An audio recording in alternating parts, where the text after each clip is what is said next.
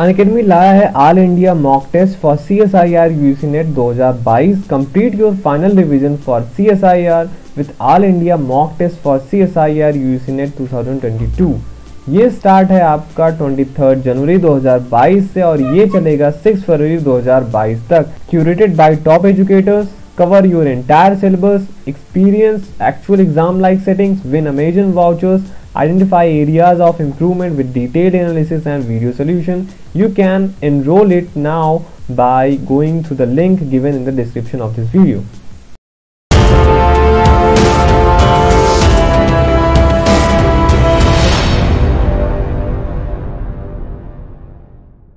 Hello friends welcome to channel masters of botany again मैं हूँ आपका दोस्त विनय कुमार सिंह। फ़ी ऑफ़ में हम जो है उनके मेंबर्स के बारे में आपको बता रहे थे और उसमें हमने चार मेंबर्स लो है लगभग ख़त्म कर दिए हैं और उनके एम भी हमने आपको प्रोवाइड करा दिया था। मोस्टली जो इनके जनरल कैरेक्टरिस्टिक्स हैं और रिप्रोडक्शन है, ये सेम है और अगर आप एक का अच्छे से समझ जाते हैं तो दूसरों के बारे में पढ़ने में काफ़ी आसानी होती है। तो आज हम बात करेंगे लेमिनारिया के बारे में। लेमिनारिया एक मरीन एल्गा है, जैसे कि आपको पता है they are mostly marine phaeophyceae के जितने मेंबर होते हैं, वो मोस्टली मरीन होते हैं. ब्राउन एल्गा है ये. अगर हम बात करें स्पीसीज़ का तो वर्ल्ड वाइड जो है स्पीसीज़ अबाउट 40 स्पीसीज़ हैं लेमिनारिया का. प्लांट का अगर हम थैलस की बात करें तो ये जो प्लांट होता है, दो मीटर या उससे भी ज़्यादा लंबा हो सकता है. तो ये मैक्रोस्कोपिक होता है मीन्स आप यूजली इस पिक्चर में देख सकते हैं कि कितना बड़ा है. ठीक है, दो मीटर से भी ज़्यादा बड़ा हो सकता है। और अगर हम बात करें इसका जो थैलस है, ये डिफ्रेंशिएटेड रहता है। लेमिना यहाँ पे जो आप पोर्शन देख रहे हैं, ये लेमिना है, फिर एक छोटा सा स्टाइप रहता है। स्टाइप के थ्रू ये होल्ड फास्ट से जुड़ा हुआ होता है। और होल्ड फास्ट जो है, इसको हेल्प करता है सबस्ट्रेटम जो होता है, जैसे रॉक सर्फेसेस उससे अटैच होने के लिए। अब ये जो लेमिना होता है, ये या तो सिंगल हो सकता है, या तो डिवाइडेड होता है बहुत सारे सेगमेंट्स में। अगर हम सिंगल स्पीसीज की बात करें जहाँ पे लेमिना सिंगल होता है तो लेमिनारिया सैकारिना एक एग्ज़ाम्पल है जहाँ पे इसका लेमिना सिंगल होता है। वहीं लेमिनारिया डिजिटेट डिजिटाटा और क्लस्टोनाई जो है, दो स्पीसीज हैं लेमिनारिया के जहाँ पे जो ये आपका लेमिना होता है, ये बहुत सारे मतलब इसमें सेगमेंट्स होते हैं। अगर हम इंटरनल स्ट्रक्चर की बात करें मतलब आप इसको कट करेंगे तो क्या इंटरनल स्ट्रक्चर आपको देखने को मिलेगा? तो अगर आप लेमिना का करेंगे या जिसको ब्लेड भी बोला जाता है तो सबसे बाहर का जो वो पोर्शन रहता है, जिस उसको हम मेरिस्टोडर्म बोलते हैं, फिर थोड़ा सा अंदर की ओर जाएँगे तो कॉटेक्स मिलता है और सेंट्रल पोर्शन इसका मेडिला कहलाता है। वही इंटरनल स्ट्रक्चर जो टाइप का होता है, वो जो होता है, सेम स्ट्रक्चर ही शो करता है। वहाँ पे भी मेरेस्टोडर्म, कॉर्टेक्स और मेडुला आपको मिलेगा, लेकिन इंपॉर्टेंट फीचर क्या है? इस टाइप का कि वहाँ पे आपको कॉर्टिकल रीजन में, जो कॉर्टेक्स रीजन है, वहाँ पे आपको क्रॉस कनेक्शंस और ट्रम्पेट हाइफी दो चीज़ें यूनिक मिलती है इस टाइप में तो आप ये चीज़ें याद रखिएगा। ग्रोथ की अगर हम बात करें लेमिनारिया की तो बढ़ता कैसा है तो आप देखेंगे यहाँ पे इंटर कैलरी मेरिस्टिम होता है जो कि लेमिना जहाँ से इस टाइप से ज्वाइंट होता है वहीं पे पाया जाता है और इसकी वजह से लेमिना में आ, इसके ग्रोथ होता है लेमिनारिया के। रिप्रोडक्शन की हम बात कर लें इस पिक्चर जो आप देख रहे हैं इसके बारे में अभी आप समझेंगे। और ये भी जो प्लांट दो मीटर का होता है जो मैंने बताया ये भी अभी इस पे आप कह लीजिए थोड़ा सा प्रश्न चिन्ह है। कैसे मैं आपको आगे बताता हूँ? क्योंकि हम बात करते हैं लमिनारिया कि ये स्पोरोफाइट की बात हो रही है, कि गेमेटोफाइट। तो ये स्पोरोफाइट की बात हो रही है, जो दो मीटर होता है। वहीं अगर हम बात करें इसके गेमेटोफाइट की तो बहुत छोटा होता है। ये माइक्रोस्कोपिक स्ट्रक्चर्स होते हैं, जो कि यहाँ पे आप देख रहे हैं। वो क्या होते हैं स्पोरोफिटिक गैमेटोफिटिक स्ट्रक्चर्स वो हम पढ़ेंगे रिप्रोडक्शन में। रिप्रोडक्शन पे हम आते हैं। तो रिप्रोडक्शन में तीनों मेथड इन्वॉल्व है वेजिटेटिव और सेक्सुअल और सेक्सुअल वेजिटेटिव रिप्रोडक्शन की बात कर लें तो यहाँ पे स्टोलन्स बनते हैं, जो कि होल्ड फास्ट पे बनता है। ठीक है? तो स्टोलन्स की वजह से इनका वेजिटेटिव रिप्रोडक्शन होता है असेक्सुअल रिप्रोडक्शन की बात कर लें तो जूसपोर्स के द्वारा यहाँ पे इनमें असेक्सुअल रिप्रोडक्शन होता है, जो कि बनते हैं यूनिलॉकुलर स्पोरेंजिया पे। और ये जो यूनिलॉकुलर स्पोरेंजिया हैं, ये ग्रुप में अटैच रहते हैं, जो इसका लेमिना आप देख रहे हैं, ये स्पोरोफिटिक थैलस वाला। यहाँ पे दोनों साइड जो होता है, इसके लेमिना पे ग्रुप में यूनिलॉकुलर स्पोरेंजिया होते हैं तो ध्यान रखिएगा unilocular means having one locule इसमें बहुत सारे जूसपोर्स बनते हैं। तो जैसे कि थैलस हो गया, ये स्पोरोफिटिक थैलस और इस पर जूस पुरेंजिया बनेंगे ग्रुप में। जूस पुरेंजिया के अंदर मियोसिस होगा, बहुत सारे जूस पोर्स बनेंगे। क्योंकि मियोसिस हो रहा है, इस वजह से जूस पोर्स इनके हैप्लॉइड होंगे। और जब ये जूस पोर जो हैप्लॉइड हैं, ये ग्रो करेंगे तो पूरा जो आपका ये यूनिलॉकुलर स्पोरेंजिया था, इसे जितने भी जिसे आप जूस पुरेंजिया भी बोल सकते हैं। तो जो जो जूस पुरेंजिया है, इससे हाफ़ जो जूस पोर्स निकलेंगे, वो जर्मिनेट करके मेल गेमिटोफाइट बनाते हैं और हाफ़ जो होते हैं, वो फीमेल गेमिटोफाइट बनाते हैं। अब यहाँ पे खास बात ये है कि ये हम स्पोरोफिटिक थैलस की बात कर रहे थे मीन्स जो डिप्लॉयड होता है, इसी पे आपका ये यूनिलॉकुलर स्पोरेंजिया या जो स्पोरेंजिया बनता है, जिनमें जूस पोर्स बनते हैं मियोसिस के बाद, क्योंकि जूस पोर आपका हैप्लॉयड है तो वो जर्मिनेट करके क्या बनाते हैं? गेमेटोफाइट्स बनाते हैं। ठीक मेल और गेमेटो मेल और फीमेल गेमेटोफाइट अलग अलग होते हैं, और दोनों जो गेमेटोफाइट हैं वो माइक्रोस्कोपिक स्ट्रक्चर हैं, केवल कुछ सेल के बने हुए होते हैं फिलामेंटस होते हैं और हेट्रोट्राइकस इनका स्ट्रक्चर होता है। यहाँ पे आप देख सकते हैं, ये जो नीचे वाला फ़ोटो है, ये लेमिनारिया का स्पोरोफाइट है, ठीक है डिप्लॉयड यहाँ पे सेल्स होते हैं, और यहीं पे जब जूस पोरेंजिया इनके ये लेमिना पे बनता है ग्रुप में जूस पोस रिलीज़ होते हैं हैप्लॉयड जूस पोस तो ये ग्रो करके बनाते हैं, जो कि आपका, ये देखिए मेल है यहाँ पे छोटा फीमेल है दोनों शो किया हुआ है पर आप इतने अच्छे से इसको डिफ्रेंशिएट नहीं कर सकते हैं पर ये माइक्रोस्कोपिक है।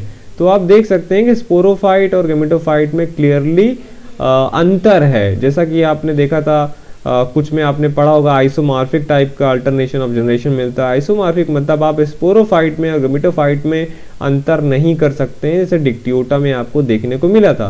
ठीक, केवल साइटोलॉजिकल जो स्टडी होती है, उसके बेसिस पे जब आप देखेंगे कि उसमें कितना डिप्लॉइडी कितना है, तभी आप बता सकते हैं। लेकिन लेमिनारिया में जो स्पोरोफिटिक थैलस होता है, वो दो या दो से ज़्यादा मीटर का लंबा होता है और वहीं जो गेमेटोफिटिक स्टेज होता है, वो माइक्रोस्कोपिक होता है तो ऐसे आप पहचान लेंगे, ठीक? अब सेक्सुअल रिप्रोडक्शन की बात करते हैं। सेक्सुअल रिप्रोडक्शन में एंथ्रिडिया और उगोनिया इन्वॉल्व होते हैं, जो कि मेल और फीमेल रिप्रोडक्टिव स्ट्रक्चर्स हैं, और जो मेल रिप्रोडक्टिव स्ट्रक्चर है, वो मेल गेमेटोफाइट पे बनता है, जो फीमेल फीमेल रिप्रोडक्टिव ऑर्गन है, वो फीमेल गेमेटोफाइट पे बनता है।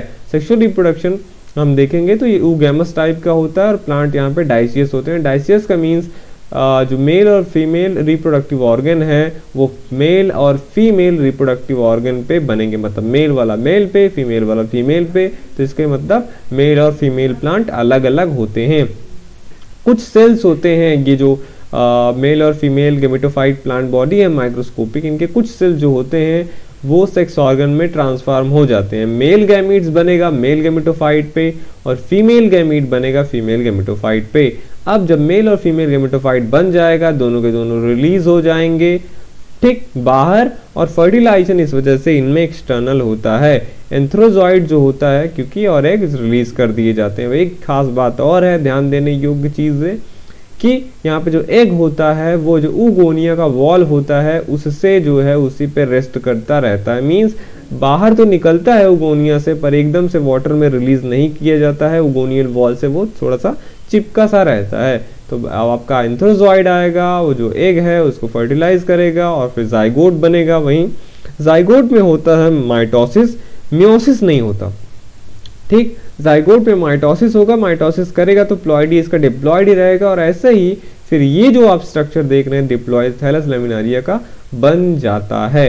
तो पूरी कहानी आपको समझ में आ गई, जब डिप्लॉयड लेमिनारिया आ गया, इसी के जो थैलस में दोनों साइड है यूनिलॉकुलर स्पोरेंजिया बनता है, इसी में हैप्लॉइड जूस पोर्स बनेंगे, फिर वो जमिनेट करके मेल और फीमेल गेमिटोफाइट बनाएँगे मेल और फीमेल गेमिटोफाइट से मेल गैमिट और फीमेल गैमिट फीमेल गैमिट बनेगा, दोनों फ्यूज करके जाइगोट बनाएँगे जाइगोट फिर से ग्रो करके डिप्लॉयड लेमिनारिया का थैलस बनाता है, यही इनका लाइफ साइकिल है।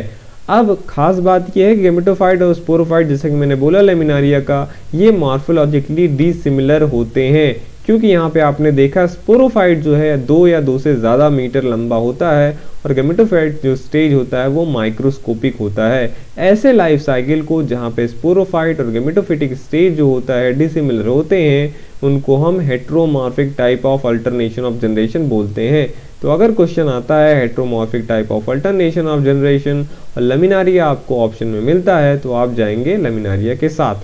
तो कुछ चीज़ें हैं, ये याद रखिएगा आपका कि यहाँ पे लेमिनस टाइप होल्ड फास्ट होता है और जो कॉटेक्स होता है इस टाइप वाला, वहाँ पे क्रॉस कनेक्शन और ट्रम्पेट हाइफी भी मिलता है। ग्रोथ यहाँ पे इंटर कैलरी मेरिस्टम के द्वारा होता है। वेजिटेटिव रिप्रोडक्शन स्टोलेंस के द्वारा असेक्सुअल रिप्रोडक्शन जूस पोर्स के द्वारा हैप्लॉइड जूस पोर्स के द्वारा।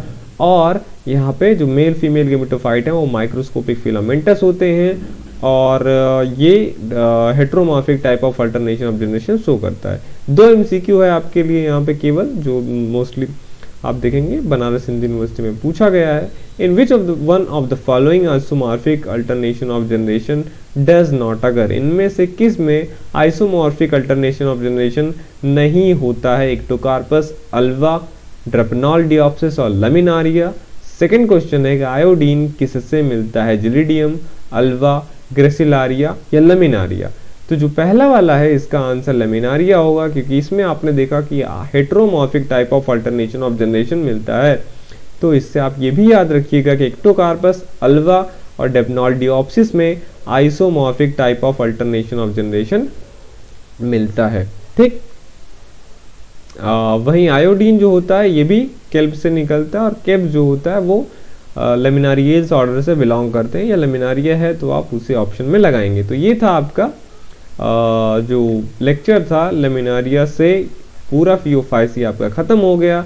अब नेक्स्ट वीडियो में मैं जो एलगी का कोई और स्पेशल ग्रुप है वो लूँगा और उन पर भी आपको नोट्स प्रोवाइड कराऊँगा। आप देखते रहिए masters of botany and thank you for watching this video अगर आप प्रिपेयर कर रहे हैं बनारस हिंदू यूनिवर्सिटी के एमएससी बॉटनी एंट्रेंस एग्ज़ाम के लिए तो प्रीवियस 13 इयर्स के क्वेश्चन पेपर का सोल्यूशन विथ एक्सप्लेनेशन ये बुक आपको बहुत हेल्पफुल होगा। इस वीडियो के डिस्क्रिप्शन में आपको इसका लिंक मिल जाएगा। आप वहाँ से परचेज कर सकते हैं। और साथ ही साथ अगर आप आ, बहुत सारे एम सी क्यू सॉल्व करना चाहते हैं अप्रॉक्स टेन थाउज़ेंड सारे एल्गी, फंजाई ब्रायोटेडो जिम्नो, एनजीओ, साइटोलॉजी, बायोकेमिस्ट्री, सारे तो ये बुक आपके लिए बहुत अच्छा है। इसका भी लिंक आपको इस वीडियो के डिस्क्रिप्शन में मिल जाएगा। दोनों बुक आप परचेज कर सकते हैं।